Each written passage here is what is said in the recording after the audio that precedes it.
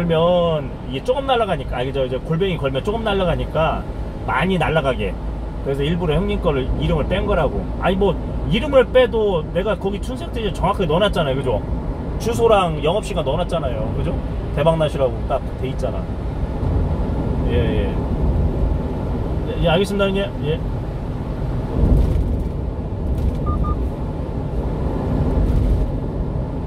아, 감사 감사.